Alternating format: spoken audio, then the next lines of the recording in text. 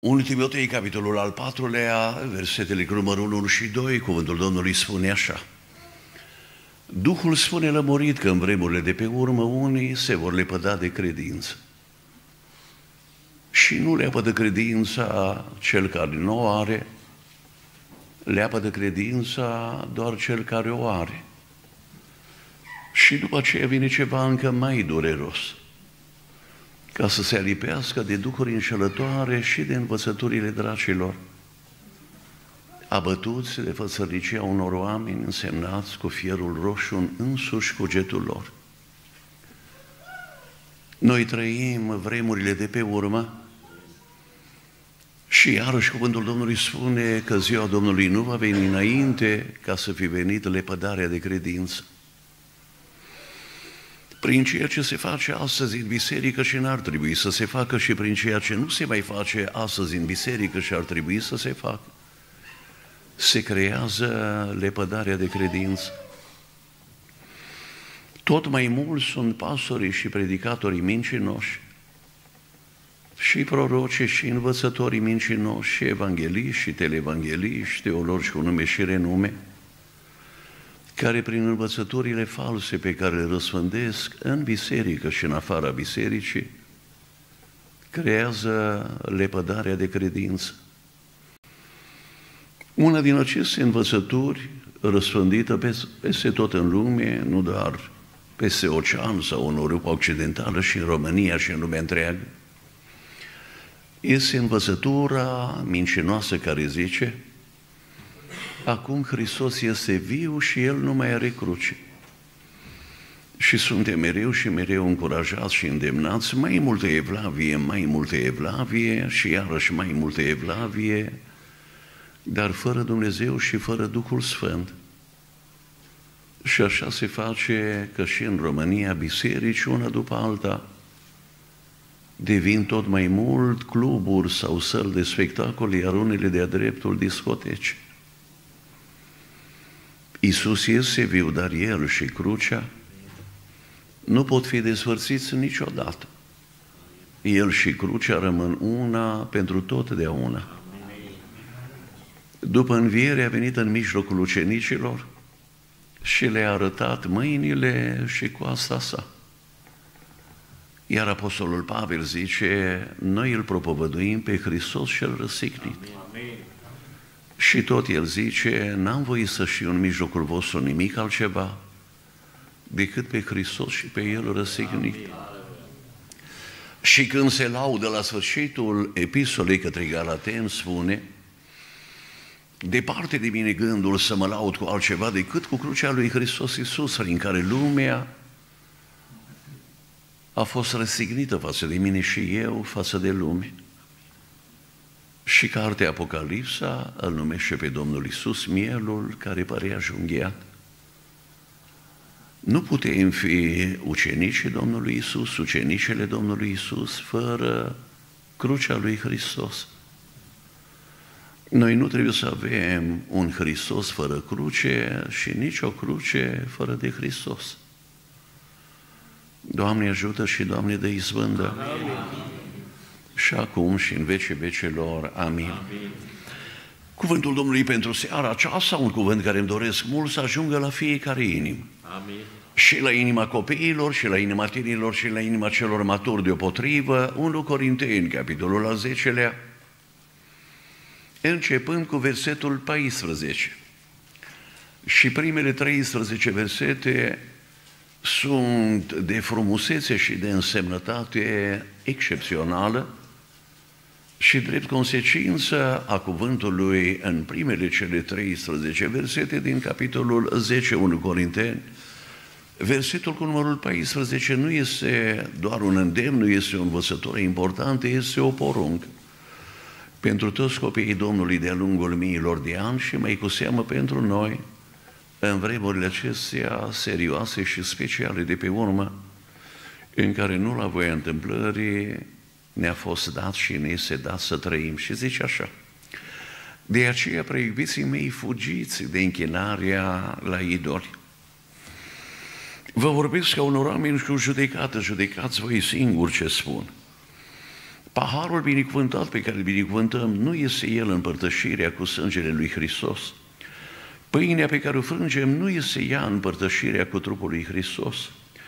Având în vedere că este o pâine, noi care suntem mulți, suntem un trup, căci toți luăm o parte din aceeași pâine. Uitați-vă la Israelul după trup. Cei ce mănâncă jertfele nu sunt ei în împărtășire cu altarul. Deci ce zic eu? Căci un lucru jertfit idolilor este ceva sau că un idol este ceva. Din potrivă, eu zic că ce jertfesc neamurile jertfesc dracilor și nu lui Dumnezeu. Și eu nu vreau ca voi să fiți în împărtășire cu dracii. Nu puteți bea paharul Domnului și paharul dracilor. Nu puteți lua parte la masa Domnului și la masa dracilor. Sau vrem să întărâtăm pe Domnul la gelozie? Suntem noi mai tari decât El? Amin. Să luăm loc și să ascultăm cu luare minte cuvântul Domnului. Iar cei care vreți să fiți împreună lucrători cu mine în această seară binecuvântată în locul acesta, binecuvântat în ogorul, însemnat și binecuvântat al Evangheliei, rugați-vă săruitor prin Duhul Sfânt în duhurile voastre ca Dumnezeu să se înduri și de mine și de voi. Și să ne dea tuturor harul acesta scump și minunat să putem duce cu bine până la sfârșit lucrarea însemnată care ne stă înainte, slăvit să fie Domnul. Până să împlinească 30 de ani, spune cuvântul Domnului, Domnul Isus a primit poruncă de la Tatăl Ceresc să meargă la Iordan și să fie botezat ca un om obișnuit. El și ea că dacă se va duce și va împlini porunca Tatălui, atunci și acolo Duhul Sfânt va veni peste el. Credea și își dorea mult ca lucrul acesta să se întâmple. Și în Evanghelia după Luca, în capitolul al treilea, se face o foarte însemnată precizare și spune că după ce a fost botezat întreg norodul, a fost botezat și Isus. Și pe când se ruga, s-au deschis cerurile și Duhul Sfânt a fost văzut pogorându-se în chip trupesc peste el ca și porumbel. Și fratele nostru Ioan în Evanghelia lui zice și oprindu-se peste el. Și din cer s-a auzit un glas, Tu ești Fiul meu preiubit în care îmi găsesc toată plăcerea mea. Fără Duhul Sfânt, orice ce lucrare facem, fie în biserică, fie în afara bisericii, nu folosește la nimic. Sufletește și duhovnicește vorbind. O lucrare fără Duhul Sfânt este ca lumina pentru orb și ca muzica pentru surzi. Și cel din tăi verset în capitolul al patrulea, Evanghelia după Luca, zice Iisus plin de Duhul Sfânt. A fost dus în pustie ca să fie ispitită de diavolul și spune mânat de Duhul. Și vreme de 40 de zile s-a avut o lucrare foarte importantă și pentru Domnul și pentru noi – la sfârșit a flămânzit și au venit isfitirile cele mari. Și una din aceste isfitiri mari spune că satana l-a luat, l-a dus pe un munte foarte înalt, i-a arătat toate împărățiile lumii acesteia și strălucirea lor. Și i-a zis, ție ți le voi da pe toate dacă te vei arunca cu fața la pământ și te vei închina mie. Și Domnul plin de Duhul Sfânt l-a biruit pe satana, pleacă satanul, căci este scris Domnului Dumnezeului tău să-i te închin și numai Lui să-i slujești.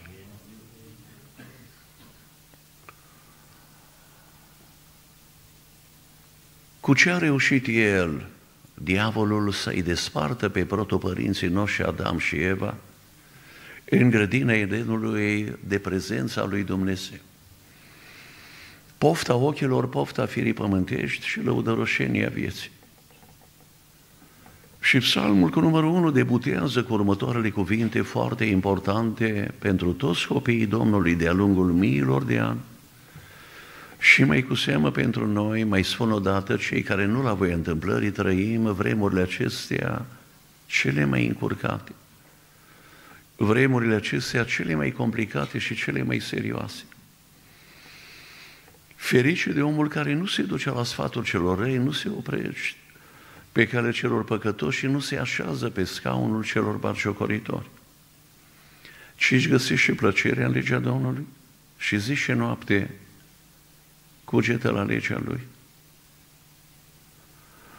Ne uităm în cartea Faptele Apostolilor, numită pe bună dreptate și cartea Faptelor Duhului Sfânt. Și vedem lucrările mari și din calea afară de însemnate, pe care Duhul Sfânt le-a săvârșit prin frații noștri și prin surorile noastre, vremurile de început ale bisericii la Ierusalim, în toată Iudeea, în Samaria și printr-o minune dumnezeiască până la marginile pământului și aici în România și la Câmpia Turzii. Dar mai vedem și încercările mari prin care le-a fost dat să treacă. Și ne vine să spunem ce greu le-a fost lor și ce greu le-a fost lor. Și Apostolul Pavel, robul Domnului și fratele nostru, inspirat de Duhul Sfânt, zice nu. Vouă vă va fi greu, căci în zilele de pe urmă vremurile vor fi grele. Dar de ce sunt astăzi vremurile mai grele decât în vremurile de odinioară? Pentru că niciodată de când este omul pe pământ, n-au fost atât de multe ziare și reviste și cărți care mai de care mai mincinoase, care mai de care mai dăunătoare, mai amăgitoare și mai otrăvitoare. Chiar și între cele așa zise religioase.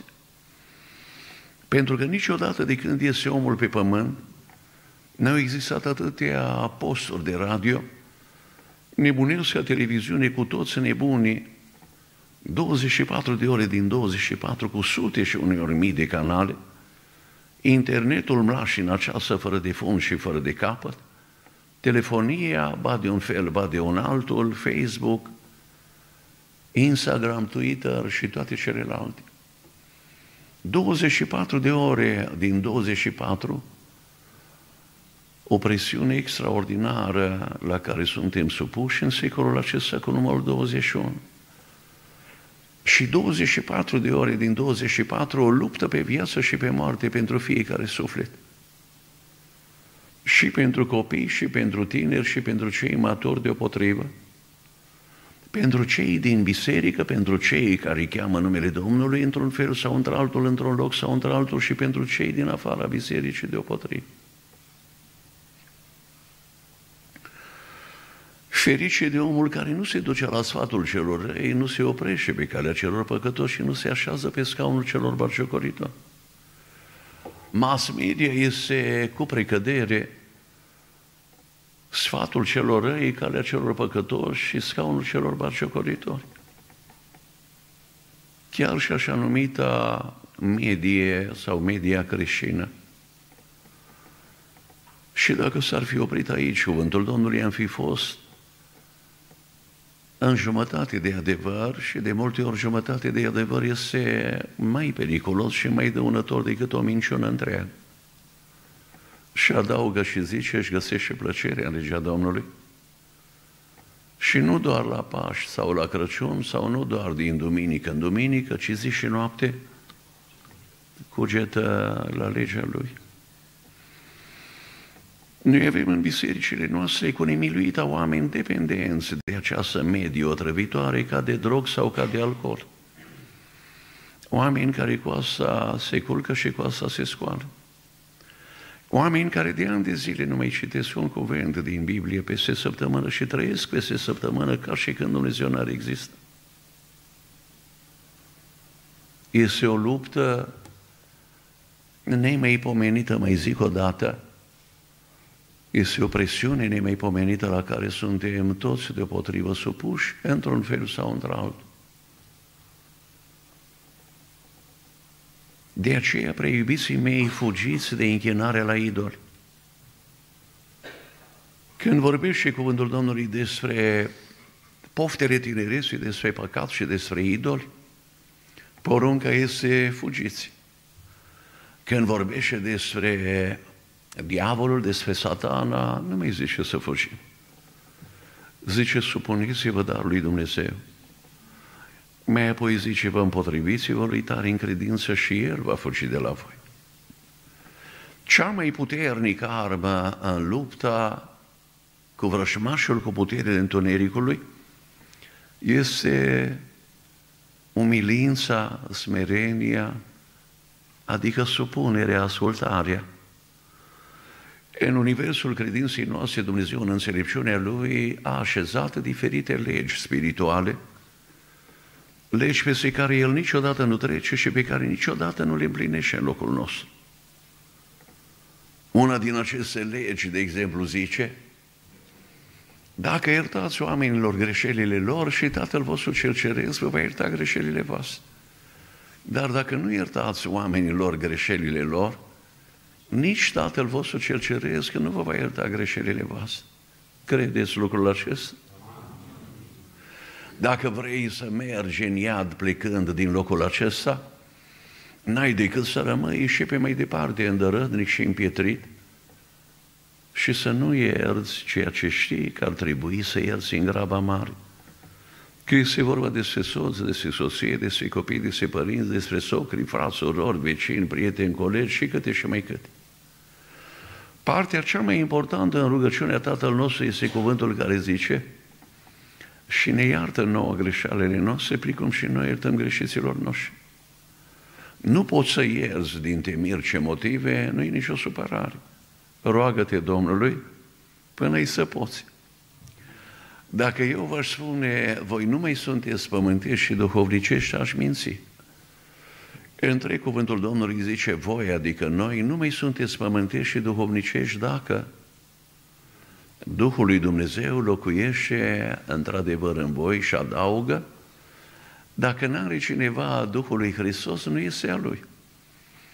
Și Duhul lui Hristos cu precădere este un Duh al dragostei care iartă totul. Poți să stai în adunare o sută de ani și să faci toate slujbele la rând. Dacă nu are cineva Duhul lui Hristos, nu este a lui. Și o altă lege spirituală pe care a așezat-o Dumnezeu în universul credinței noastre este cuvântul care spune că El înalță pe cel care se zmerește și îl coboară pe cel care se înalță. Și mândria face prăpăd astăzi în bisericile noastre și între cei mari și între cei mici deopotrivă. Duhul lui Naaman înainte de pocăință pe care îl găsești prin toate bisericile și la toate nivelurile. Cea mai puternică armă în lupta cu puterile întunericului este umilința, smerenia, ascultarea, supunerea. Despre Domnul Isus, cuvântul Domnului dă mărturie și zice, s-a făcut ascultător până la moarte și încă moarte de cruce. De aceea, nu pentru că era Dumnezeu din Dumnezeu adevărat, de aceea și Dumnezeu l-a înălțat nespus de mult. Vrei ca Dumnezeu să te înalțe deasupra puterilor întunericului și să fii de astăzi înainte începând mai mult decât biruitori în luptele de orice ce fel pe care le ai neapărat mereu și mereu de dus și de dat, nu există decât o cale. Noi ne smerim și săpânul ne înalță. Și iarăși ne smerim și săpânul ne înalță. Nu l-a dus pe un munte foarte înalt satana pe Domnul Isus, ca să arate toată scârboșenia, toată violența, vulgaritatea, pornografia și nebunia acestei lumi. L-a dus pe un munte foarte înalt și a arătat toate împărățiile lumii acestea și strălucirea lor. Și a zis, ție ți le dau pe toate dacă te vei arunca cu fața la pământ și te vei închina mie. În fiecare biserică sunt ucenici ai Domnului Isus și ucenici ai diavolului. Spune cuvântul Domnului, prin aceasta se cunosc copiii lui Dumnezeu și copiii diavolului. Oricine nu trăiește neprihănire nu este de la Dumnezeu, nici cine nu iubește pe fratele său. Și ca să se înțeleagă și mai bine, puțin mai jos se zice cine urăște pe fratele său este un ucigaș. Și ca să se înțeleagă și mai bine să fie mințile și inimile noastre, cum se cuvine lămurite, zice, cine nu iubește nu este din Dumnezeu, căci Dumnezeu este dragoste.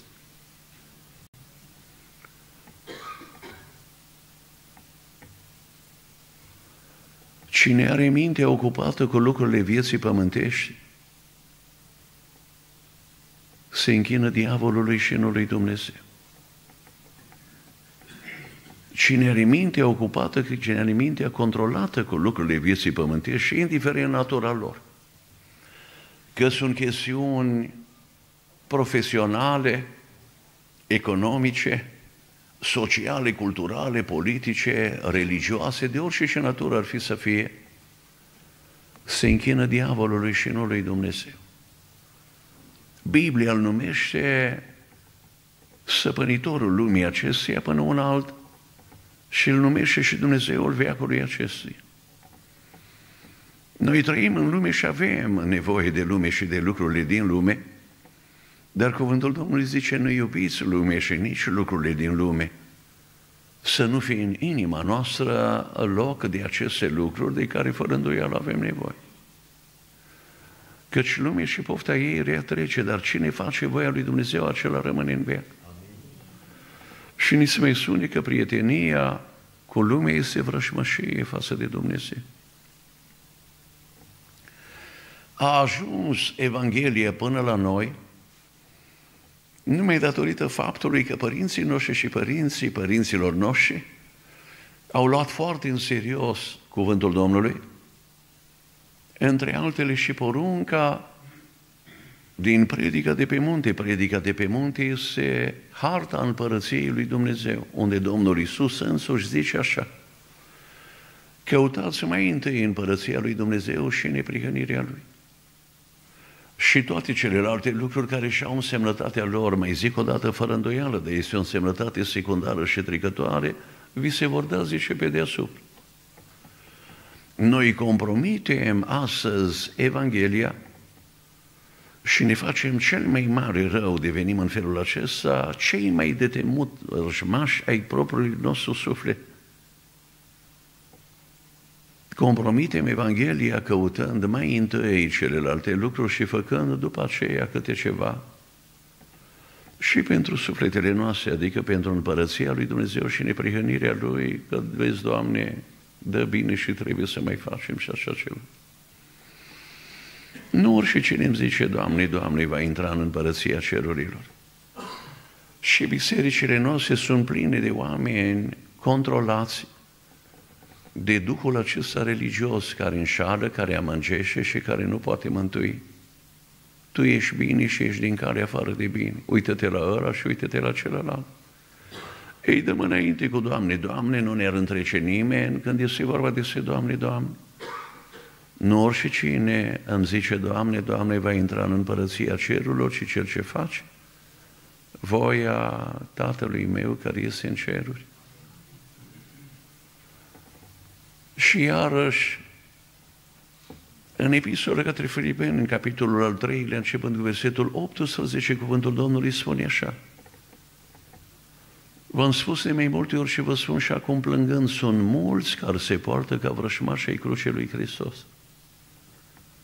Și bisericile noastre sunt pline de oameni care se poartă ca vrășmașii crucii lui Hristos. Și între acești vrăjmași ai crucii lui Hristos și nu puțin slujitori. Și după ce zice, sfârșitul lor va fi pierzarea. Și este un cuvânt nu pentru cei din lume, este un cuvânt pentru voi și pentru mine. Și ni se spune prin Duhul Sfânt care sunt vrăjmașii crucii lui Hristos. Dumnezeul lor este pântecele, slava lor este în rușine lor și se gândesc la lucrurile de pe pământ. Și iarăși am întrebat pe Domnul, Doamne, dar dacă noi trăim pe pământ, nu este drept să ne gândim la lucrurile de pe pământ și Domnul zice, este drept și nu este drept. Cine are mintea ocupată cu lucrurile vieții pământești, este vrăjmașul crucii lui Hristos, în felul acesta este cel mai temut vrăjmaș al propriului suflet și se închină mamonei și nu lui Dumnezeu. Și versetul următor adaugă și zice, dar cetățenia noastră este în ceruri, de unde și așteptăm ca mântuitor pe Domnul nostru Isus Hristos și iarăși adaugă și zice El, va schimba trupul stării noastre smerite și îl va face asemenea trupului slavei sale prin lucrarea puterii pe care o are de a-și supune, cum zice mai departe, toate lucrurile slăvi să fie Domnul. Dacă îți iubești și adevărat sufletul și dacă vrei să trăiești aici mai departe, în liniște și în pace,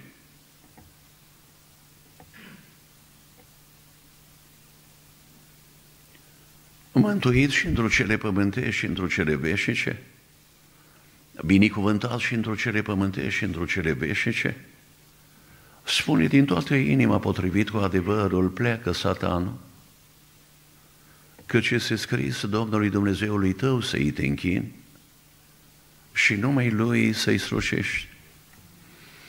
Să te închini nu înseamnă să faci așa un semn sau să pui mâinile așa. El să este cu totul altceva. Dumnezeu nu privește la înfățișarea omului, ci privește la inima omului. Să ne închinăm în duc și în adevăr înseamnă să-i aparținem Domnului în totul totului tot și în duc și în suflet și în trup și mai apoi după ce ne-am dat Domnului în totul totului tot, să-i urmăm Domnului, dar nu oricum, ci potrivit cu adevărul scump, minunat și binecuvântat al Scripturilor. Spui, de exemplu, pe, despre un savant și-a închinat toată viața cercetărilor dintr-un domeniu anume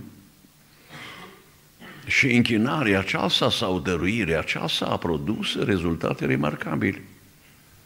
Și prin el Dumnezeu ne-a dat fel și fel de descoperiri foarte benefice pentru viața noastră, fie pe un plan, fie pe un alt plan.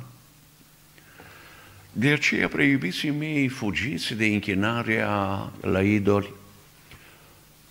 Idol este orice persoană mai importantă în inima, în mintea și în viața noastră decât Dumnezeu.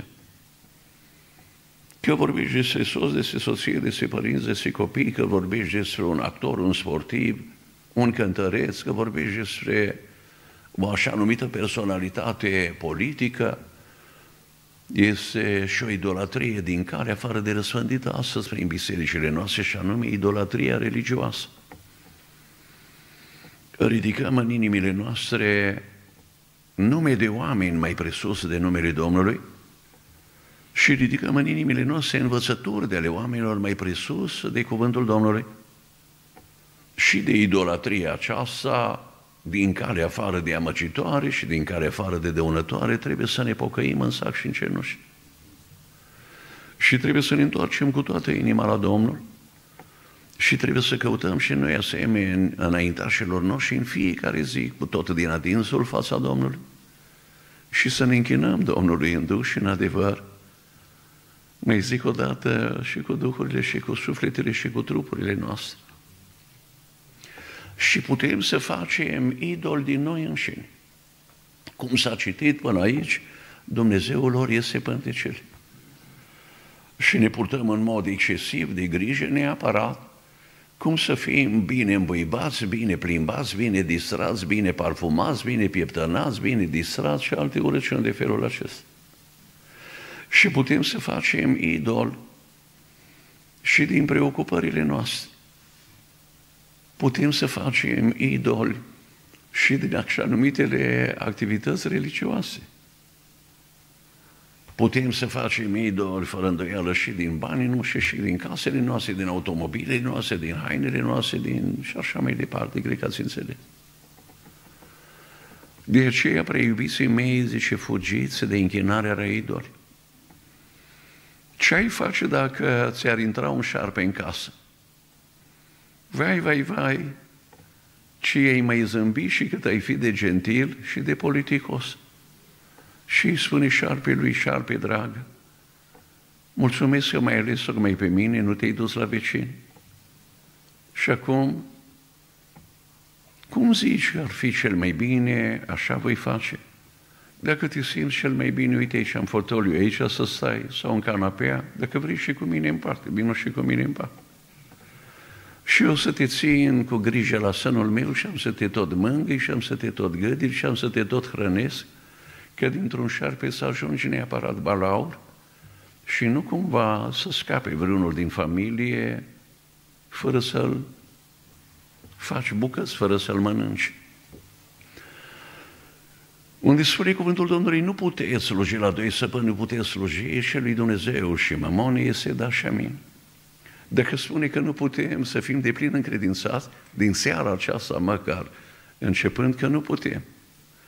Și Scriptura care a fost citită în seara aceasta zice, iarăși cu dașamin și pentru voi și pentru mine, neamurile care nu cunosc pe Dumnezeu jerfesc dracilor și nu lui Dumnezeu timpul lor, energiile lor, banii lor și viața lor.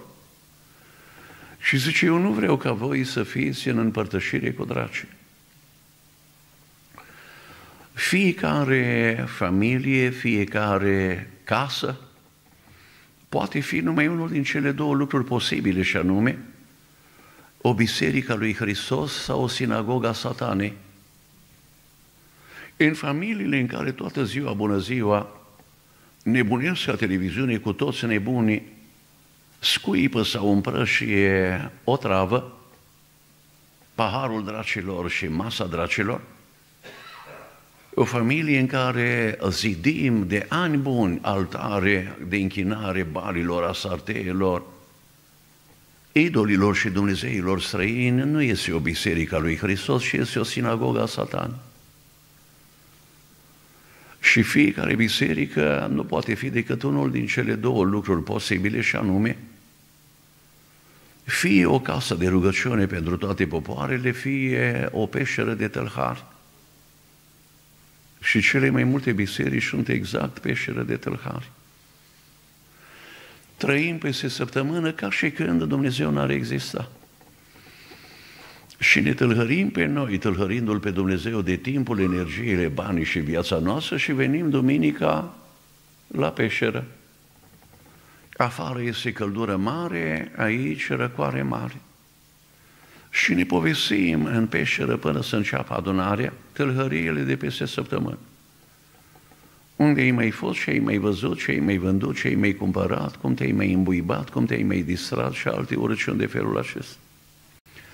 Sunt oameni în adunările noastre care în timpul adunării era să zic cu drăcovenile acestea neapărat la purtător, repede și repede ia să văd ce mesaj am primit și neapărat să răspund sau trimit eu un mesaj în timpul adunării și alte idolatrii și alte urăciuni diavolești de felul acesta. Și ieșim din adunare și nu ne mai pasă absolut deloc de nimic din ceea ce s-a vestit în adunare și n-am mai avea absolut deloc părtășie duhovnicească, părtășie sfântă, dar de discutat am discutat toate nimicurile și toate prostiile. Și cuvântul Domnului ne avertizează și zice, nu puteți sta și la masa Domnului și la masa dracilor. Și nu puteți bea și paharul Domnului și paharul dracilor. Masa Domnului și paharul dracilor înseamnă cultura lumii, valorile lumii, principiile lumii, chipul veacului acestuia. Noi avem nevoie de bani, spre exemplu, dar să nu ne aibă banii pe noi. Noi avem nevoie de lucrurile din lume, dar să nu pună stăpânire pe noi lucrurile din lume, indiferent de natura lor. De aceea, în capitolul al șaselea, și nu doar acolo, cuvântul Domnului ne avertizează și zice, toate lucrurile îmi sunt îngăduite, dar nu toate îmi sunt de folos. Și adaugă, toate lucrurile îmi sunt îngăduite, dar nimic să nu pună stăpânire pe mine. Ai trei pasiuni, trei săpâni, cinci pasiuni, cinci săpâni, șapte pasiuni, șapte săpâni. Îmi spune o soră minunată undeva într-un oraș în Spania, ce mă fac și ce mă fac? Starea soțului meu este tot mai rea și tot mai rea. Dar ce a pățit soțul dumitale? Zice peste săptămână, de multă vreme nu mai vine la adunare nici marțea, nici joia. Are afaceri dintre acestea cu construcțiile și lucrează și câte 10, 12, 14 ore pe zi. Și mai mult, zice, într-o duminică dimineață eram în casa Domnului și la cina Domnului. Și îl sună cineva în adunare, mă rog, nu sună telefonul, dar vibrează și atunci dacă l-ai în buzunar, te apucă și pe tine tremuratul. Râde, dar eu n-aș râde. Și zice, a scos telefonul, s-a uitat, a ieșit afară să răspundă și în spaniol îi zice, am o afacere mare pentru tine, dacă vii la mine până la ora 1, îți dau afacerea, dacă nu, pierzi afacerea pentru că eu la ora 1 mă așez la masă cu familie. Și fratele acesta a aplicat din casa Domnului, din prezența Domnului, din părtășia fraților și de la masa Domnului ca să primească afacerea cea mare. Nu vorbesc de el, că vorbesc de voi și vorbesc de mine. Și vă întreb cu toată seriozitatea, vă vorbește Domnul în această dimineață, după amiază.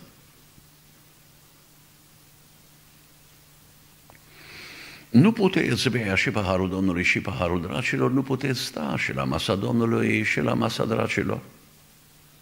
Sau vrem să-L întărătăm pe Dumnezeu la gelozie? Suntem noi mai tari decât El? Eram vreo 20 și ceva de ani în urmă la Roma și lucru foarte de mirare, vedem la fiecare pas, călătorind dintr-o parte într-alta, surorile pe stradă îmbrăcate foarte cuvincios și neapărat și cu capul acoperit.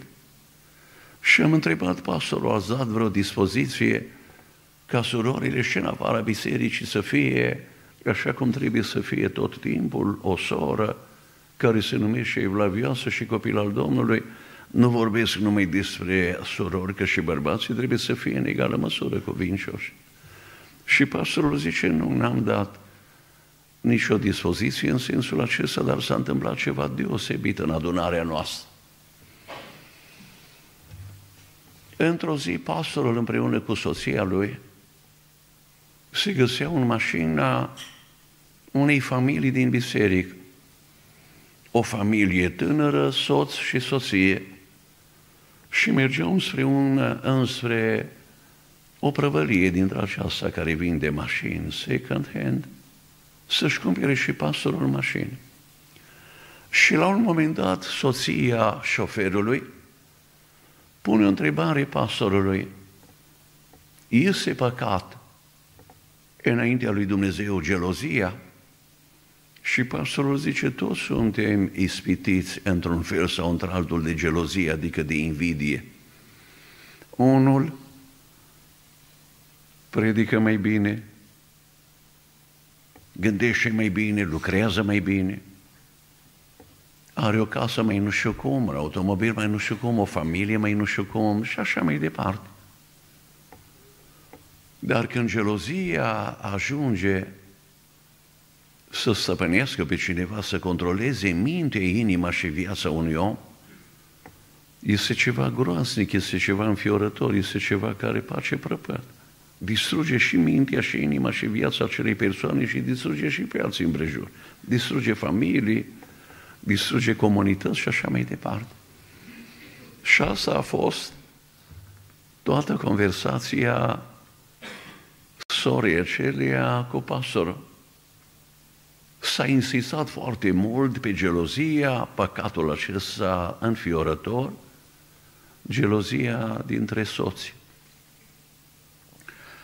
Noaptea, la un moment dat, pastorul a fost cercetat în așenutul patului de Duhul Domnului. S-a coborât din pat pe genunchi la rugăciune să mijlocească înaintea Domnului pentru familia aceasta. Soția pastorului a luat seama de cele întâmplate, l-a întrebat ce s-a întâmplat, ce este cu tine, pastorul îi spune, s-a așezat și soția pastorului pe genunchi la rugăciune, au strigat amândoi la Domnul pentru familia aceea, După care pastorul zice, e o luptă serioasă în familia asta, eu vreau mâine să postesc înaintea Domnului pentru dânsii. Și soția zice, postez și eu împreună cu tine. Și acum îmi povestește sora aceasta minunată care a pus întrebarea aceasta foarte important și zice așa. La ora 11, când eu pregăteam laptele, biberonul pentru bebeluși, zice, uite acolo a apărut diavolul. Era în bucătărie, nu avea ușă la bucătărie, era așa doar o acolată. Și diavolul zice, pentru ce m-ai deranjat? Și ea îngrozită și înspăimântată a început să strige, Sângele Domnului și iarăși sângele Domnului și sângele Domnului și Domnul să te mustre și sângele Domnului și era îngrozită și tremura din crește și până în tăr. Și diavolul îi zice, care sângele Domnului? Că de trei ani n-ați mai fost la cina Domnului. Și iarăși din calea afară de îngrozită, strigă și strigă și strigă și tremură și transpiră. Și la un moment dat pleacă diavolul și exact în același loc se arată Îngerul Domnului. Și zice Îngerul Domnului stătea cu capul plecat și îmi spune, acoperă capul că vreau să-ți vorbesc. Și ea a deschis repede un sertar, a luat ce a avut la îndemână și a acoperit capul. Și Îngerul Domnului a vorbit și a spus, da, satana, diavolul este părâșul vostru și zi și noapte vă părăște înaintea lui Dumnezeu. Și mi îmi spune sora aceasta minunată, eu eram cu totul stăpânită de gelozie. Unii, deși căsătoriți, nu poartă verighetă. Și atunci nu știi, o fi căsătorit, nu o fi căsătorit. Și sunii veneau la noi, la Roma, din România, tineri, fete sau băieți. Și odată o fată venită din România s-a așezat exact lângă mine și la un moment dat, privind spre tinerii din cor, era într-o duminică după amiază, mă întreabă cine este băiatul acel. Și m-a întrebat exact de soțul meu și am crezut că mi exodează mintea și inima. Și acum mărturisește și soțul acestei femei și zice, sâmbătă de sâmbătă, ca să ne relaxăm, să ne fie și nouă bine, împreună cu alte familii din biserică, aici la noi acasă, ori în șir, jucam remi. După aceea stăteam până noaptea târziu la televizor, pasionat foarte mult și de meciurile de fotbal și de cursele de Formula 1. Și ce să te mai duci duminică dimineața la biserică, ești foarte obosit. Dar eu nu vorbesc de ei, că vorbesc de noi și vorbesc de voi. Am călătorit de-a lungul timpului prin durarea Domnului, probabil peste 3 milioane de kilometri în România, la sat, la oraș, biserici de un fel sau de un altul și în afara României. Și am luat tot mai bine seama de la an la an și acum de la săptămână la săptămână cât de mult sunt în adunările noastre oameni firești, oameni lumești și cât de mulți în adunările noastre sunt uh, idolatri sau dependenți de toată această grozăvie sau nebunie. Era o vreme în care, spre exemplu, am găsit într-o familie era că un aparat din trăs sau o plasmă, un televizor, neapărat și în bucătărie, nu cumva sora era, să zic, cocoana, în timp ce pregătește mâncare să piardă vreun episod de la o telenovelă dintre acesta diavolească. Sau el, în timp ce mănâncă, nu cumva să piardă nu știu ce altă idolatrie, meci de fotbal sau de hockey sau de basket sau de tenis și alte urăciuni de felul acesta. În fiecare cameră câte un televizor și neapărat, cum spunem noi, în sufragerie sau în living, alt televizor. Nu cumva să fie vreun loc în casă în care să nu fie satana cu ale lui. Harul dracilor și masa dracilor înseamnă nici mai mult, nici mai puțin decât cultura, valorile, principiile lumii acesteia și chipul veacului acest. Și spune cuvântul Domnului cu da și amin să nu vă potriviți chipului veacului acest. Și biserica tot mai mult seamă de la an la an exact cu chipul veacului acest. Zice, ce să vă prefaceți? Prin înnoirea continuă a minții voastre ca să deosebiți bine care este voia lui Dumnezeu, cea bună, plăcută și desăvârșită? Mai mulți ani în urmă, un frate care mi este foarte scump, foarte drag și care iubește foarte mult pe Domnul. Vorbind cu Dumnezeu prin telefon, la un moment dat îmi spune nu ne-am mai văzut de multă vreme și mi este foarte dor de Dumneata. Și adaugă, Zice, abia aștept să vii la mine la o cafea. Și eu m-am prefăcut din cale afară de supărat și am zis așa, Dumneata și cafeaua dumitale să pieriți pentru totdeauna. Și el s-a înspăimântat. Și l-am lăsat în cercetarea aceasta foarte însemnată vreo 30 de secunde, după care l-am întrebat și pe el și vă întreb și pe voi. Spune-mi, te rog, părinții dumitale când se întâlneau cu alți frați din sat, cu ce fel de cuvinte se chemau și se îndemnau ei unii pe alții, haideți fraților la noi la o cafea, haideți fraților la noi la un film, la un meci, la un grătar, la un tort, la o înghețată și altele de felul acesta. Și el, pentru că a înțeles foarte bine ce era de înțeles și trag nădejde, până nu este prea târziu să înțelegem și noi ce este de înțeles, zice, niciodată. De câte ori se întâlneau părinții noștri cu alți frați și cu alte surori din sat se chemau și se îndemnau numai cu cuvintele sfinte, haideți fraților și surorilor la noi la rugăciune. Haideți fraților și surorilor la noi să cântăm din toată inima Domnului, să citim cuvântul Domnului, să ne împărtășim din și cu cuvântul Domnului. Că după aceea era un ceai sau un lapte sau o cafea, nu știu ce plăcintă, cozonac sau nu știu ce, asta, asta este altceva. Cred că m-ați înțeles că n-am nimic împotriva lucrurilor de felul acesta. Vorbim despre priorități și vorbim despre singurul adevăr care mântuiește și care este cuvântul Domnului. De aceea, preiubiții mei, fugiți de închinarea la idol. Eram într-o biserică undeva peste ocean și un tânăr cânta cu foarte multă iscusință și cu foarte mare entuziasm la pian. Și spun pastorului care era lângă mine, tânărul acesta nu are nicio legătură, nu are nicio treabă cu Dumnezeu. Pentru el, pianul este Dumnezeu, el și este Dumnezeu și vrea neapărat să se afirme. Și pastorul îmi zice, dar și al cu este băiatul ăsta? Este băiatul dirijorului.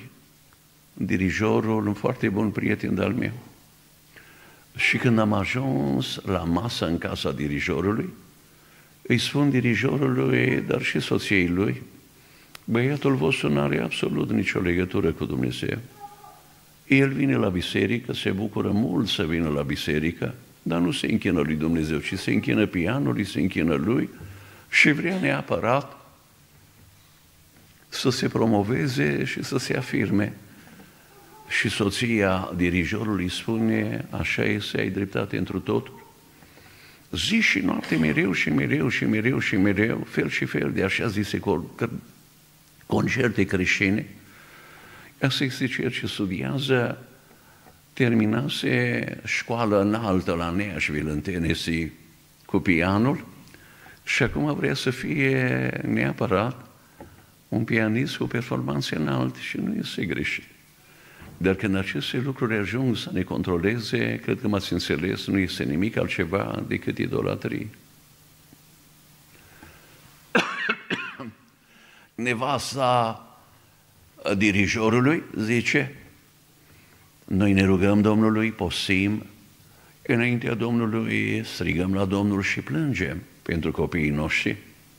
și pentru toți tinerii din biserică și zicem, Doamne, ai milă de copiii noștri și nu-i lăsa să rătăcească și să vină ziua, să vină ceasul și clipa în care li te vei descoperi în chip minunat și nemișlocit, în care vor cunoaște și ei ce înseamnă nașterea din nou, nașterea din Dumnezeu, iar după aceea să vină și pentru ei ziua și ceasul în care să experimenteze nemișlocit minunea prezenței lui Dumnezeu în viața lor.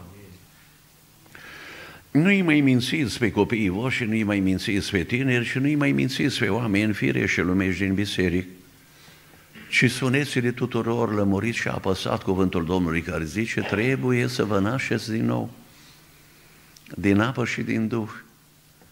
Numai un om care se născut din nou vede mai întâi împărăția lui Dumnezeu și după aceea poate intra în împărăția lui Dumnezeu.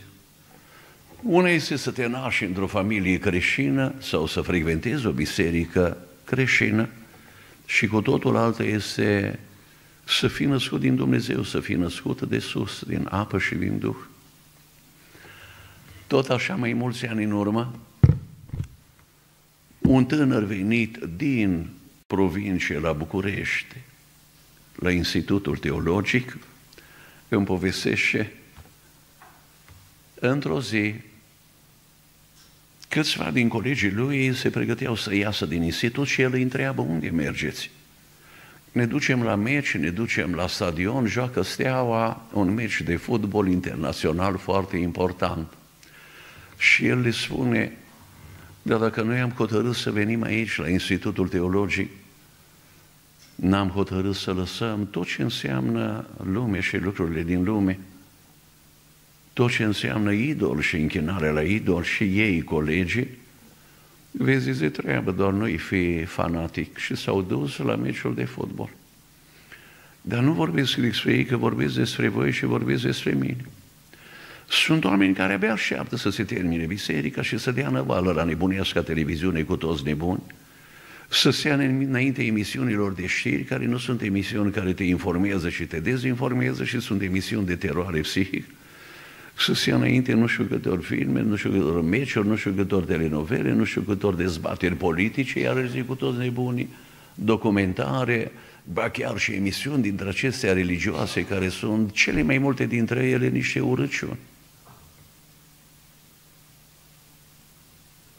Și tot el îmi povestește cum într-o altă împrejurare, alți colegi se pregăteau să iasă din institut și el îi întreabă unde vă duceți și ei spun simplu, ne ducem la cinematograful cu tare să vedem filmul cu tare, un film foarte interesant și le-a pus aceeași întrebare. Și eu răspuns în același fel, doar noi fi fanatic. Aici nu vorbim despre fanatism, ci vorbim despre adevărul care mântuiește și despre pseudo-adevărul care nu mântuiește, ci amăgește și nimicește închinarea la idol. Nu puteți sluji la doi săpâni, nu puteți sluji și mamonei și aurului. Și mai spune că nu putem să stăm și la masa Domnului și la masa dracilor și nu putem bea și paharul Domnului și paharul dracilor. Am călătorit prin durarea Domnului, măcar că nu mi-am dorit niciodată neapărat lucrul acesta, dar când zice stăpânul să se facă un lucru, intrăm în ascultare și lucrul acela se face pentru că și El cel mai bine, ce este cel mai bine pentru noi. Am călătorit de mai multe ori și peste ocean, ca să-mi arate Dumnezeu în chip lămurit și deslușit ce se întâmplă și peste ocean, și în Europa și după aceea în lumea întreagă. În vremea nazismului, scaunul de domnie al satanei a fost la Berlin, la Roma și la Tokyo. În vremea comunismului, scaunul de domnie al satanei a fost la Moscova și la Pekin, cum se numea capitala Chinei de atunci, acum, scaunul de domnie al satanei este la Washington și la Bruxelles. Și am întâlnit acolo, după foarte mulți ani, pe unul foarte bun prieten de al meu, pe care îl știam bine din copilărie și era slujitor într-o biserică și ne-am bucurat vreme de o săptămână în fiecare seară la adunare și studii biblice prin familie și așa mai departe. Și am mai trecut o vreme și am ajuns iarăși la dumnealor în biserică și fratele acesta nu mai era la altar, ci era pe ultima bancă și tremura din toate încheieturile. Și la sfârșitul adunării îmi spune plângând, am trăit ca un nebun. Bărbat tânăr de 63 de ani. Unul care la vârsta asta putea să-i slujească mai bine Domnului și omului. La vârsta asta înțelegi mai bine ce înseamnă darul credinței și ce înseamnă viața de zi cu zi. Tremura din crește și până în tălp și îmi zice, am trăit ca un nebun.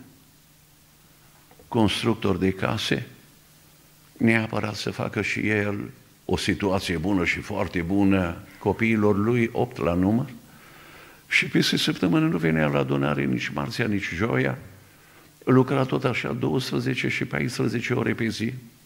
Și acum au trecut ani și zice, culegă roadele nebuniei mele, copiii mei nu mai dau mulți bani, nici pe Dumnezeu și nici pe mine, și nevasta vine la adunare doar când are chef, când își aduce aminte. Poți să le dai copiilor tot aurul din lume. Dacă nu-l dai copiilor pe Hristos, mai întâi prin propriul tău exemplu, după aceea prin cuvânt, prin rugăciune, prin Duhul Sfânt, nu le-ai dat nimic. Dacă îl dai copiilor tăi pe Hristos, le-ai dat totul.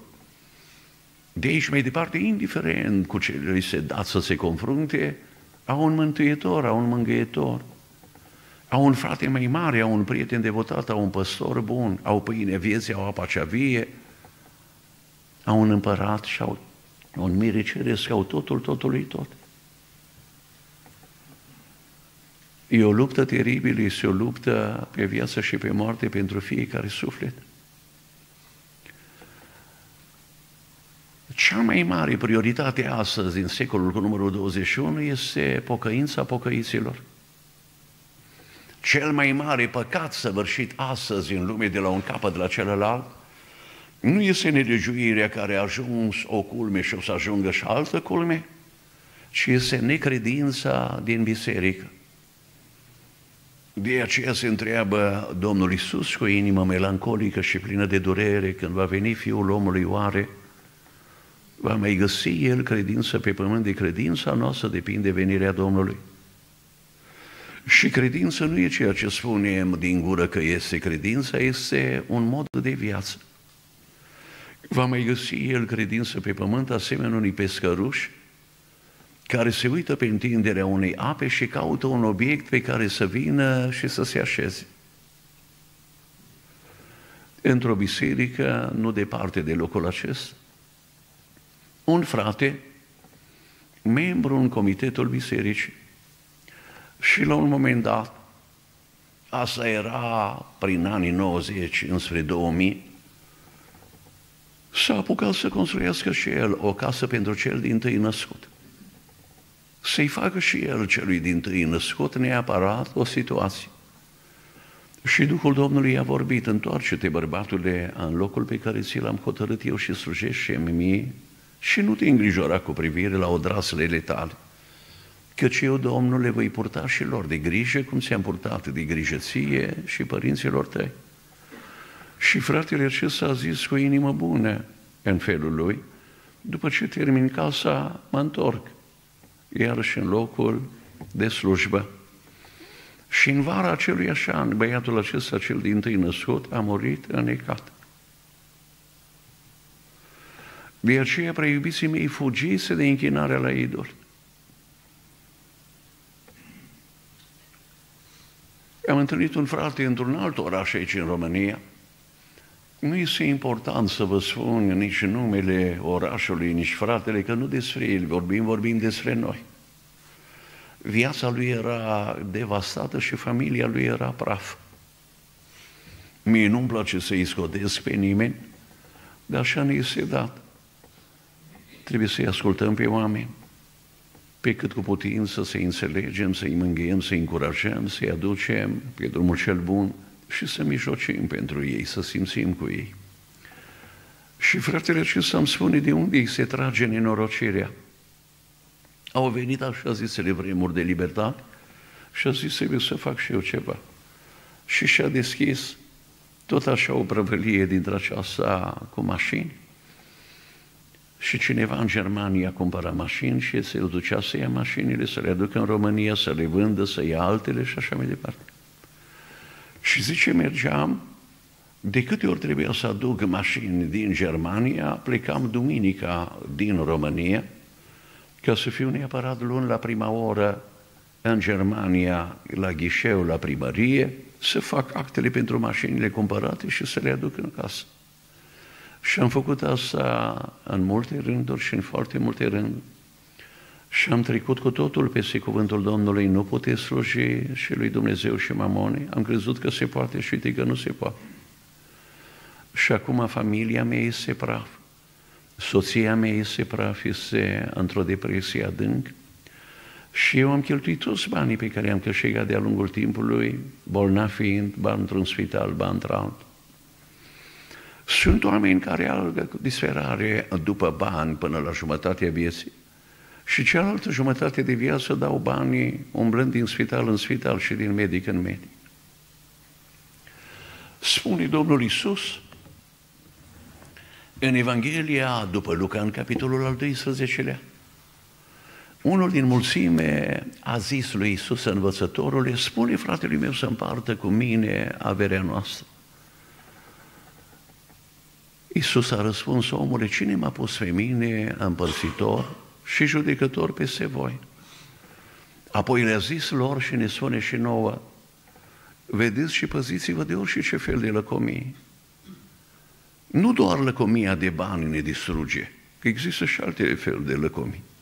Sunt oameni lacom să împlinesc mereu și mereu lucrarea diavolului, adică să bărfească să-i vorbească pe toți de rău, să-i judece, să-i arate cu degetul și așa mai departe.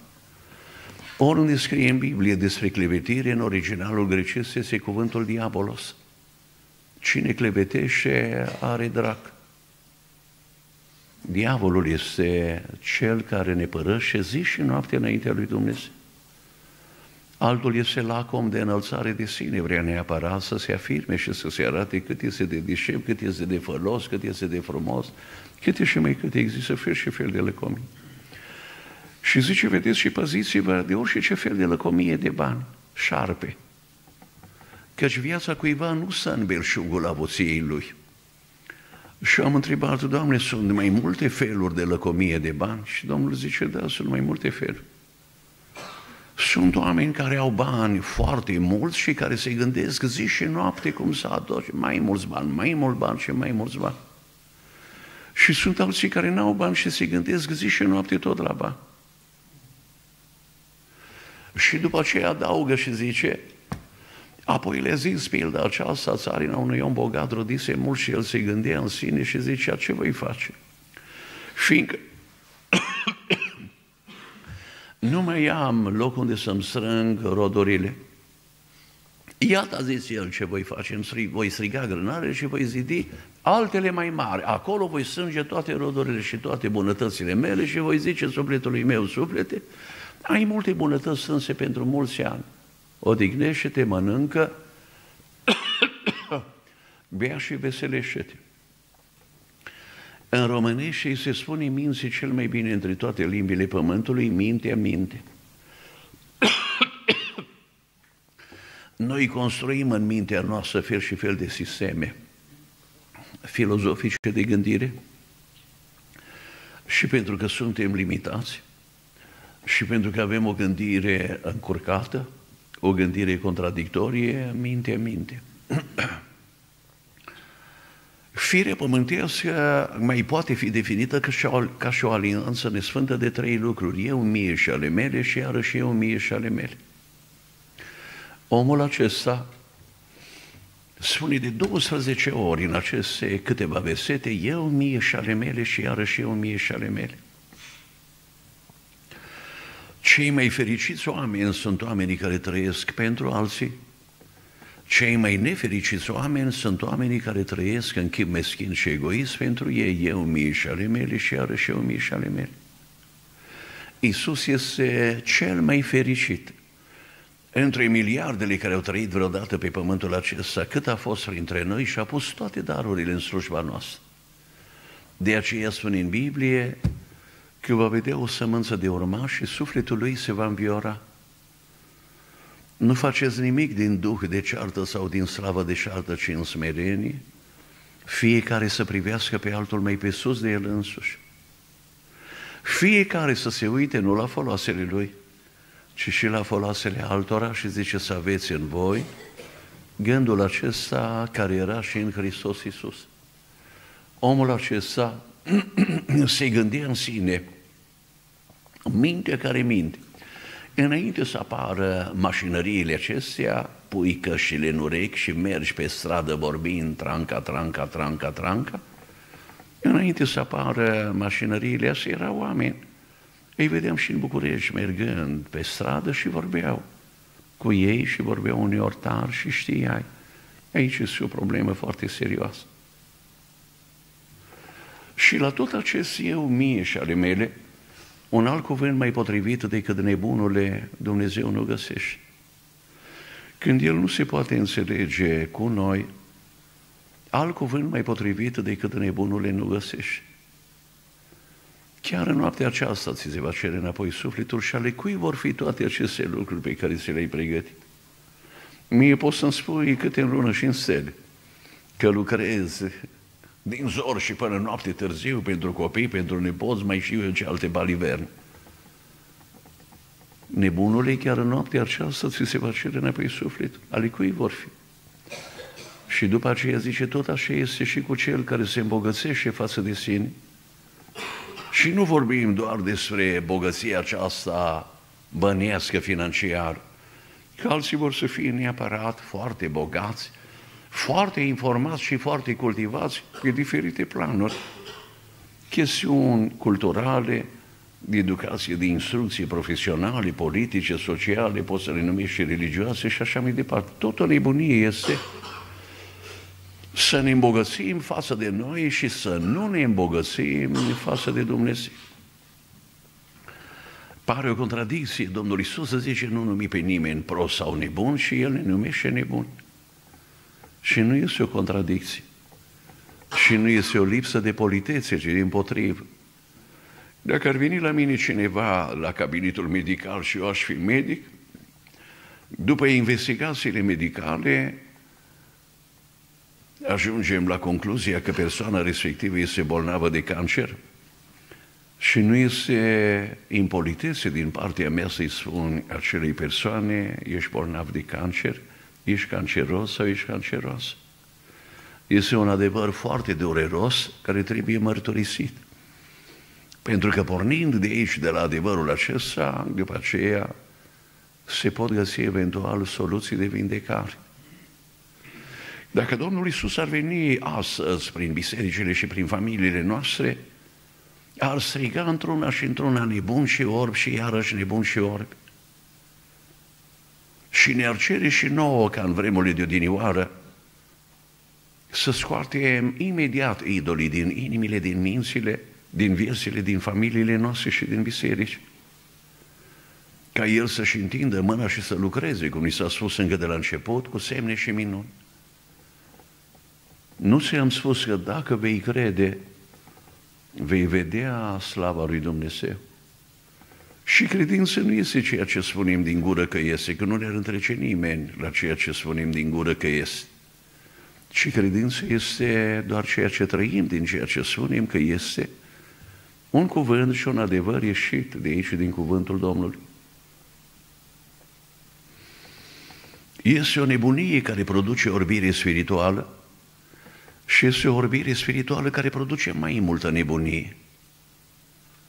Cum putem ieși din această stare de nebunie? Zice frica de Domnul? Este începutul înțelepciunii, nu este înțelepciunea ca atare. Nu te uita nici în stânga, nici în dreapta, nici înainte, nici înapoi. Nu te mai compara cu nimeni, nu te mai măsura cu nimeni. De aici mai departe ne uităm țintă la căpetenia și desăvârșirea credinței noastre, adică la Isus, care pentru bucuria ce era pusă înainte a suferit cruce. Numai crucea despre care s-a vorbit în această seară și s-a cântat încă minunat în locul acesta, este singura în măsură să despartă apele, culturile și împărățiile, împărăția lumii și împărăția lui Dumnezeu. A suferit crucea, a disprețuit rușinea. Am ajuns să ne fie rușine să-L mărturisim pe Domnul și să spunem că suntem copiii Domnului. A disprețuit rușinea. Demonul acesta foarte, foarte, foarte șiret. Și și de acolo unde am vrea toți, prin durarea Domnului, să ajungem și anume la dreapta scaunului de domnia lui Dumnezeu și nu la stângă. Cel mai mare păcat astăzi în lume este necredința din biserică și este necredința din familiile noastre. Lucrarea cea mai importantă în familiile noastre de foarte mulți ani nu se mai face. Și este o lucrare mult mai importantă decât lucrarea care se face în biserică. Și anume rugăciunea nodăiță, și altarele necurmate din familiile noastre. Noi trăim vremuri speciale, lasă-l, nu te necăji, cum îl cheamă? O, lăuda să fie Domn. Lasă-l. Că poate este atrasă de lucrarea minunată, de lucrarea Domnului și bine ar sta să vină aici la Ambon, să-l iau în brațe și să predicăm amândoi. Timotei, băiatul iubit să vă puneți la inimă toți din biserică și să mijlociți în fiecare zi pentru un copil sau pentru un tânăr din biserică. Și să renunțați cu desăvârșire, să vă mai vorbiți de rău unii pe alții, să vă bucurați de greșelile altor. Un singur copil să ai pe inimă și să vii cu el mereu înaintea Domnului și te vei bucura de minunile pe care Domnul le va face în copilul acela, cu copilul acela și prin copilul acela și vei avea parte Mm. Acum sunteți mai copii decât el, vă uitați numai acolo și nu vă mai uitați aici. Mărire Domnului. O rugăciune nodăiță care înseamnă o legătură permanentă, intimă, în inima, în mintea și în viața noastră cu Domnul. Și altarele necurmate din familie sunt mult mai importante decât venirea la adunare aici la adunare vii și să ai două ore, duminică seara trei ceasuri, dacă faceți adunare de la nouă și bine ați face să faceți adunare de la nouă, că o să vină vremea și vremea aceea nu iese departe, când vor fi interzise orele de rugăciune în biserică și după aceea altele și altele vor fi interzise. Peste săptămână, probabil că n-ai mai venit de multă vreme la adunare, că de este foarte greu și ai alte lucruri mai importante de făcut. Noi trăim vremuri speciale, vremurile de pe urmă și trăim un timp de îndurare pe care Dumnezeu l-a pregătit în mod special pentru noi și nevoile noastre mici sau mari. El a așezat un țăruș la începutul timpului de îndurare și tot el a așezat un țăruș la finalul sau la sfârșitul timpului de îndurare.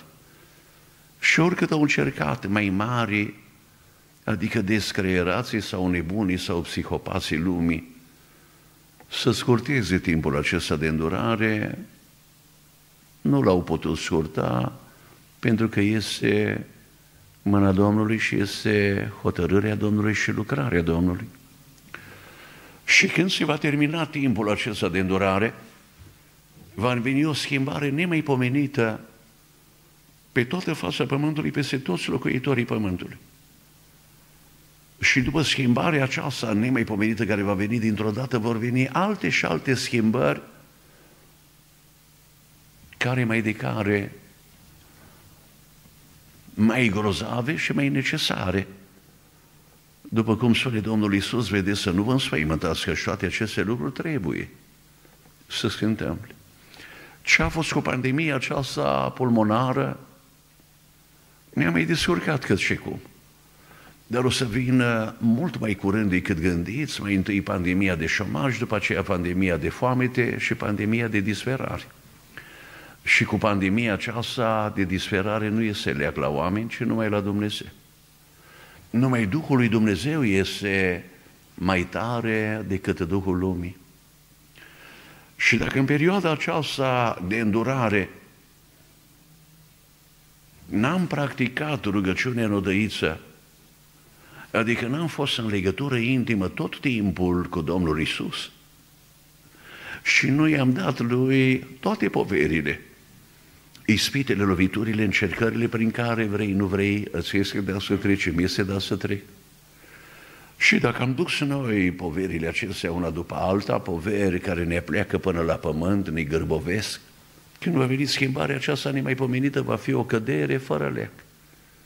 O cădere fără putință de întoarcere și de ridicare. Numai acolo în odăiță Dumnezeu a hotărât să trimită o haină cu care să ne înveșmânteze, o haină de putere. Și numai la altarele din familie vine El prin îngerul Lui și aduce un de lemn pentru nevoile noastre de un fel sau de un altul, vindecare, eliberare, înviorare, îmbărbătare, întărire și toate celelalte. Numai acolo, la altarele din familie, el vrea să aducă un cerc de putere în prejurul minții noastre, că atunci când vor veni toate aceste presiuni, mai zic o dată peste toți locuitorii pământului să nu ne pierdem mințile. Călătoream cu un frate slujitor de la el acasă în biserică și la un moment dat fratele acesta minunat îmi zice pentru foarte multă vreme soția mea avea dureri groasice de cap, nu putea să odihnească bine în timpul nopții, dimineața dureri groasice de cap, migrene după migrene și până la amiază dureri groasice de cap, zi de zi, zi de zi, săptămâni și luni de rând. Și zice, într-o seară am adunat familie la rugăciune și am zis, hai să ne rugăm Domnului ca Domnul să-și întindă mâna și să aducă izbăvire pentru mama voastră, pentru soția mea. S-au rugat și noaptea aceea soția fratelui a dormit ca un bebeluș și de atunci n-a mai avut niciodată migrene sau dureri de cap. Este slavă Domnului și nu este slavă Domnului. Pentru că l-am întrebat pe fratele acesta slujitor în biserică, dar cum a fost posibil să stai nepăsător în luni de zile și să nu faci ceea ce ar fi trebuit să faci imediat?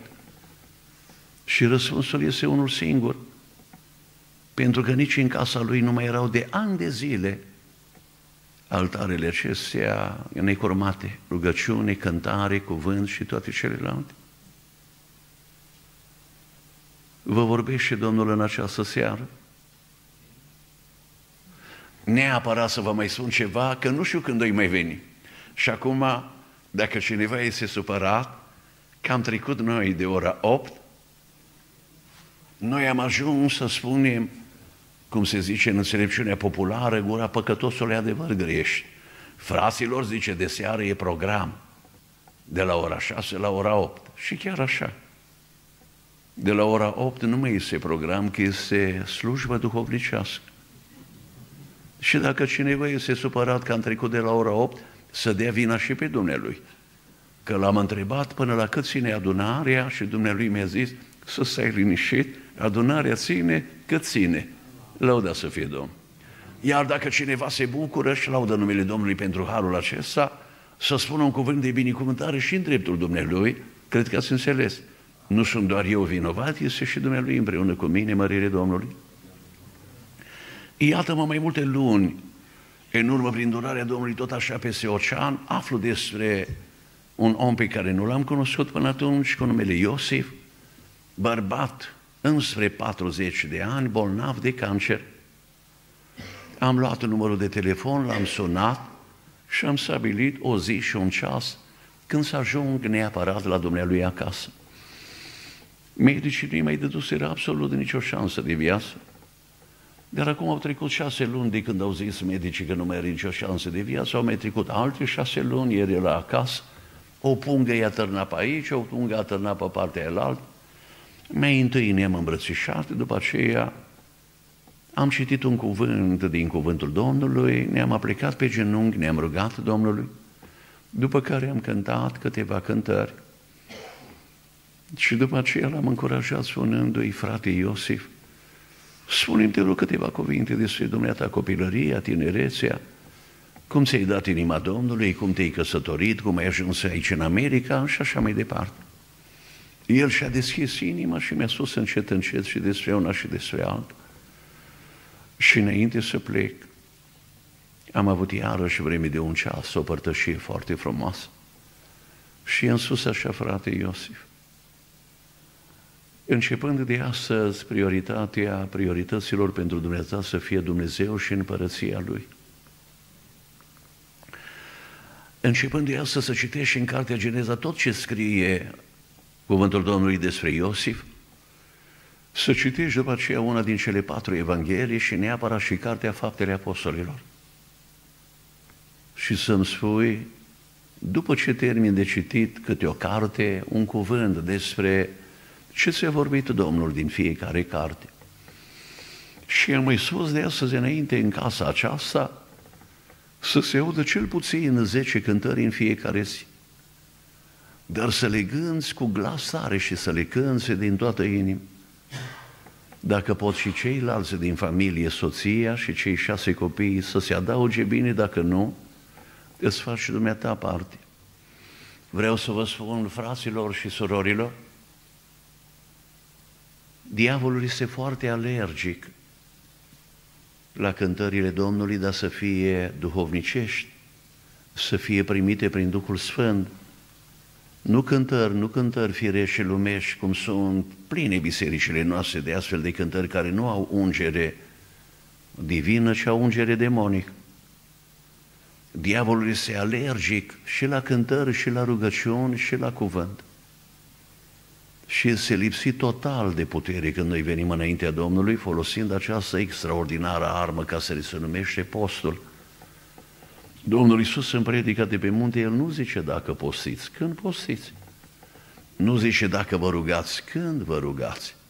Și nu zice dacă faceți milosenie, și zice când faceți milosenie și așa mai departe. Și am mai spus fratele acesta scump cu numele Iosif, de aici mai departe să nu se mai audă de la dumneata înspre copii glas poruncitor, că spune în Biblie cei care domnesc peste neamuri le poruncesc cu stăpânire. Poți să le poruncești copiilor, dar în umilință și cu dragoste, asta e cu totul altceva.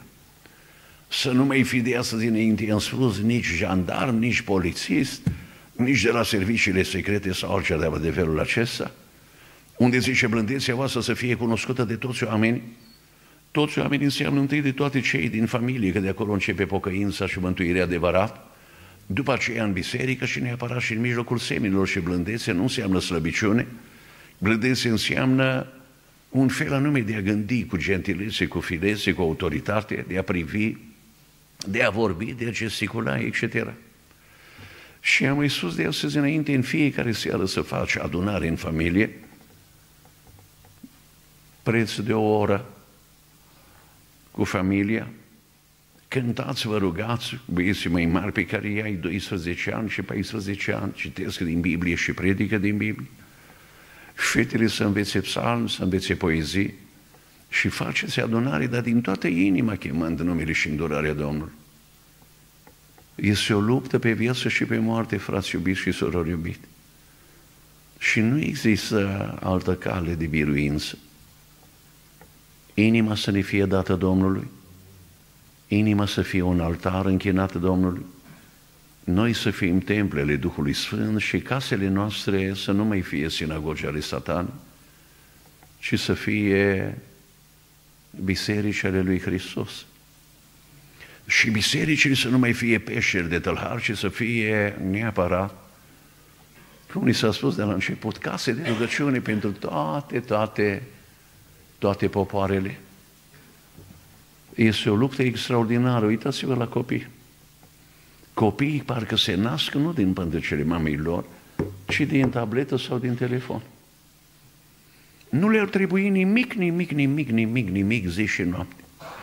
Nici somn, nici odihnă, nici mâncare, nici apă, nici nimic, nimic, nimic decât satana, satana și iarăși satan. Și sunt familii întregi în biserici, abia așteaptă să vină, vezi, Doamne, nu știu ce sărbătoare, să le cumpere alte jocuri și alte jocuri și alte jocuri și alte jocuri.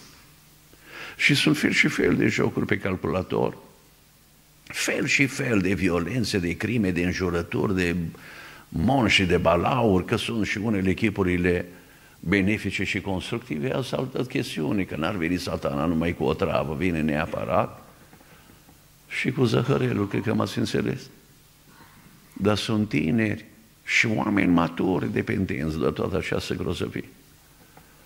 Îmi spunea un inginer la Toronto, undeva în Canada, lucrează la compania aceasta renumită Siemens, roagă-te pentru mine că sunt dependent de jocurile pe calculator. Sau îmi spunea cineva într-o biserică, ne trebuie internetul pentru copii la școală, ca să comunicăm mai ușor, pentru afaceri și așa mai departe. Și am zis, dacă ne trebuie să-l avem, dar să nu ne aibă el pe noi. Cei mai mulți în biserici sunt dependenți de media ca de drog sau ca de alcool. Cu asta se culcă și cu asta se scoală. Altcineva îmi spune într-o biserică, eu urmăresc cu mare interes la televiziune emisiunile de șeri pentru că vreau să fiu bine informat. Și am spus și lui și vă spun și vouă care sunteți dependenți de emisiunile de știri și de toți nebunii din emisiunile de știri. Nu mai zic că unii în bisericile noastre sunt dependenți de o altă drăcovenie și anume horoscopul, alții sunt dependenți și de fel și fel de vrăjitorii, de ghicitorii și de tot păgânism și de tot ocultism și de toată nebunia lumii. Și în sus fratelui acelui, frate drag, emisiunile de șer nu te informează, te dezinformează. Și emisiunile de șer sunt emisiuni de teroare psihică. Nu există un singur om pe pământul acesta care să fie atașat de emisiunile de știri și să rămână cu mintea întreagă. Fel și fel de presiuni, de îngrijorări, de frământări, de tulburări, vine o anxietate, vine o deprimare, vine o depresie și ești gata. Unul bolnav de depresie și bisericile noastre sunt pline cu astfel de oameni, cei mai mulți nu recunosc că sunt într-o stare de felul acesta. Unul bolnav de depresie nu este unul bolnav de depresie, că îi îmbolnăvește pe toți împrejurul lui. Să-mi spune mie cineva în adunarea aceasta și în orice cealaltă adunare de pe pământ, eu după ce stau jumătate de oră la emisiunile de șer la televiziune, plin de pace și de bucurie, după aceea strig către nevastă și către copii. Aduceți repede Biblia și cartea de cântări și măcar jumătate de ceas, dacă am stat cu paharul dracilor la masa dracilor cu satana la sfat, jumătate de ceas ai să cântăm, ai să ne rugăm, ai să citim cuvântul Domnului și să ne împărtășim din cuvântul Domnului. Cred că ați înțeles, este o presiune groasnică. Este o presiune și o luptă pe viață și pe moarte pentru orice ce suflet. Că sunt copii, că sunt tineri, că sunt oameni maturi, cu școală, fără școală, nume, fără... Are absolut nicio importanță. Mesajul central al Bibliei este întoarcere. Întoarceți-vă la mine, zice Domnul. Și zice, mă veți căuta și mă veți găsi dacă mă veți căuta cu toată inima sau din toată inima. Și cântarea aceea de-a doua, în seara aceasta, în locul acesta, spunea între altele și trag nădejde să nu fie vorbă goală, că de multe ori cântăm Și ceea ce cântăm nici nu pricepem ce cântăm și cântăm doar ca să ne auzim, ca să ne aflăm în treabă sau predicăm tot așa. Zice, căutați pe Domnul câtă vreme se poate găsi. Nu o să trecă multă vreme, Bibliile vor fi cu desăvârșire interzise. Vor aduce o Biblie pentru toate confesiunile și pentru toate religiile, o Biblie din care va lipsi cu desăvârșire numele Iisus Hristos. Nu o să trecă multă vreme și numele Iisus va fi interzis. Nimeni nu va avea voie să rosească numele Iisus, că satana știe că numele Iisus este o putere nemaipomenită. Și cine nu se va supune, mai întâi va fi amendat, după aceea va fi pus în închisoare și după aceea va fi decapitat. Cu asta a început biserica și cu asta trebuie neapărat să sfârșească. Și Ioan Botezătorul, după aceea și Iacov. Și astăzi când noi suntem aici și ne închinăm Domnului în liniște și în pace, sau ni se pare că ne închinăm, copiii Domnului pretutindeni în lume, cu miile, sunt răsigniți sau sunt decapitați și altele de felul acesta. Și va, va veni vremea când nicio biserică nu va mai rămânea deschisă, afară de bisericile care vor primi să lepe de credința, să lepe de pe Domnul și să se închine așa cum vor hotărâ autoritățile care îl adoră pe diavolul și se închină diavolului. Și va veni și vremea în care nici doi cu doi nu ne vom putea aduna. Când Domnul va veni pe norii cerurilor, nu doar să judece vii și morții, ci să-și ia și biserica, biserica va fi ca la început, și anume în case. Să ne întoarcem cu toată inima, cu pocăință, nu doar din vârful buzelor, ci cu pocăință din inimă, ca adevărata pocăință, pocăința din inimă când ne întoarcem cu inima la Domnul. După aceea începe El lucrări mari în noi, cu noi și prin noi. Cu toată inima să ne întoarcem la Domnul, nu ne mai judecăm, nu ne mai vorbim de rău, nu ne mai arătăm cu degetul. Și de aici mai departe, prin durarea Domnului, adunăm un de lemn binecuvântat în vasele inimii, că atunci când vor veni toate aceste lucruri care trebuie să vină, să putem sta în picioare și să putem sta în picioare și la sfârșitul veacurilor, când va veni Domnul pe norii cerurilor. Hai să-ți mai spun neapărat și cuvântul acesta. Spune în Evanghelia după Luca, în capitolul cu numărul 21, versetele 34, 35 și 36, Luați seama la voi înșivă ca nu cumva să cădeți de oboseală în inimile voastre cu îmbuibare de mâncare și băutură și cu îngrijorările vieții acesteia și astfel ziua aceea să vină fără veste asupra voastră. Ca și când nimic, nimic, nimic altceva n-ar fi mai dăunător pentru noi în vremurile de pe urmă, Domnul Isus, vorbind despre vremurile de pe urmă, ne avertizează și zice, nu cumva să cădeți de oboseală în inimile voastre. Aici cuvântul inimă face trimitere la creierul mic, creierul mic are formă de inimă. Și când noi suntem în mod excesiv implicați și preocupați în treburile pământești, în băibare de mâncare, cu mâncare și băutură, ficatul nu mai filtrează toate toxinele care se duc la creierul mic și cădem de oboseală. Și în ducurile, și în sufletele, și în trupurile noastre. Abia ne tărâm picioarele la biserică, stăm în biserică obosiți, praf, nu mai suntem sensibili și atenți la ceea ce Duhul Domnului ar vrea să ne spun și așteptăm cu nerăbdare să se termine predicile plictisitoare și să plecăm de aici. Și când suntem în mod excesiv implicat în activitățile pământești, indiferent natura lor, vrei, nu vrei, se adaugă și îngrijorarea. Îngrijorarea pune mai mari presiuni pe ficat și sunt mai multe toxine care se ridică la creierul mic. Și cădem de oboseală și nu mai suntem sensibili nici la cuvântul Domnului, nici la Duhul Domnului, nici la ceea ce se întâmplă în prejurul nostru sau până la marginea pământului și nu mai suntem sensibili nici la nevoile celor pe care îi așează Dumnezeu în prejurul nostru. Și auzi ce zice versetul 35, că ziua aceea va veni ca un laț peste toți cei ce locuiesc pe toată fața pământului. Ziua aceea este o epocă istorică, se numește globalizare sau mondializare și se întâmplă de zeci de ani.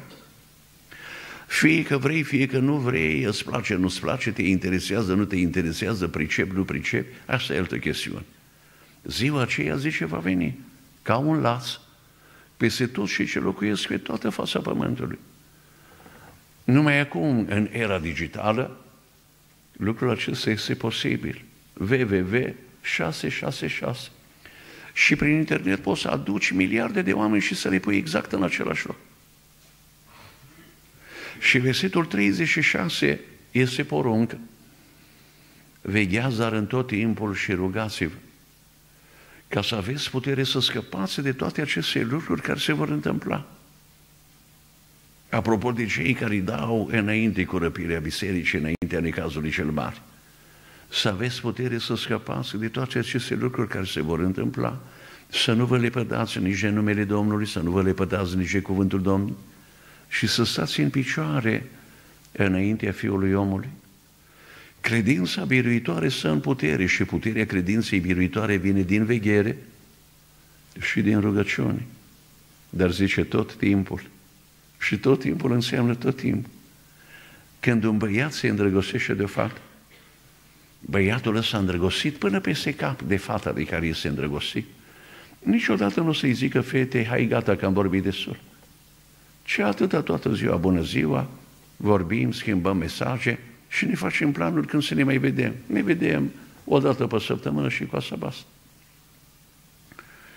Zici despre băiatul acesta în sensul cel mai frumos al cuvântului. Băiatul ăsta e topit după fata ce. Ai pus să-i sus, e nebun după ea. Dar în sensul bun al cuvântului, cum Apostolul Pavel zice, sunt nebun pentru Hristos. Și băiatul acesta zi și noapte curge de la fată. La ce a scris fata și se gândește dacă ar mai fi avut mai mult timp, mai scrie așa, așa, așa, așa, dacă ar fi avut mai multe inspirații, ar mai fi scris și asta, și asta, și asta, și acum ce să-i scrie el și așa mai departe. Asta este adevărata pocăință și alta nu este, adică o îndrăgostire permanent. Dumnezeu este îndrăgostit de noi și ne vrea cu gelozie pentru El, nu trei luni până la botez și încă trei, patru luni după botez și ne vrea pentru vecii vecilor. Și sufletul adevărat, credincios Domnului, este îndrăgostit de Domnul, de cuvântul Domnului, de părtășia cu frații, cu surorile, cu Domnul, cu Duhul Domnului și toate celelalte lucruri sfinte, minunate, scumpe și mult binecuvântate. Ferice de omul care nu se duce la sfatul celor rei, nu se oprește pe care celor păcătoși și nu se așează pe scaunul celor batjocoritori. Familiile noastre sunt pline de bărbați care își batjocoresc soții, soții care își batjocoresc bărbații de când cu feminismul acesta grozav părinți care își bat jocoresc copiii, copiii care își bat jocoresc părinții în adunare, frați care se bat jocoresc unii pe alții, bat jocoresc lucrarea, bat jocoresc slujitorii, câte și mai câte o cultură. Este o presiune extraordinară, o presiune nemaipomenită. Îmi spune un frate minunat într-o biserică, ai dreptate, nebunească televiziune, satana la butoane, o cultură, fel și fel de demoni care sunt în spatele emisiunilor și celor care umblă prin toate aceste emisiuni. Zice, eu am dat afară televizorul și nu mai avem nici... Nu televizorul este de vină, cum aveți și aici plasme din astea. Asta sunt obiecte tehnice, noi vorbim despre ceea ce stă în spatele celor ce se arată la nebunească televiziune. Dar zice, nevasta mea, când nu sunt eu acasă, se duce la vecini să vadă și ea încă un episod din telenovela preferat. Și de câte ori vin eu acasă, dacă ea s-a dus să vadă episodul de la telenovela preferat, nu mai mă înțeleg, zice, deloc cu el. Nu-i mai intru deloc, deloc, deloc, deloc în voie și o întreb. Te-ai dus iarăși la vecini? Zice, da, am fost la vecini.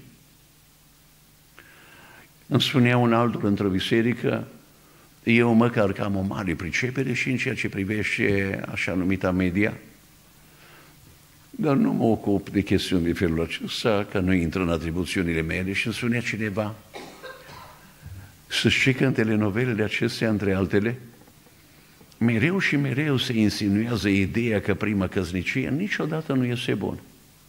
A doua este sigur mai bună decât prima, dar a treia e cea mai bună mai bună și decât prima și decât a doua. Râdeți și nu iese de râs. Numai atât dacă ți se insinuează în minte și ești gata. De aceea, preiubiții mei, fugiți de închinarea la idoli. Îmi este foarte drag fratele nostru Bartimeu, în sarea cea mai de pe urmă, în sarea cea mai de jos, și orb și cercetor. Om fără nicio șansă, fără nicio speranță. Dar a auzit că trece Iisus din Nazaret care aprinde speranța în oameni.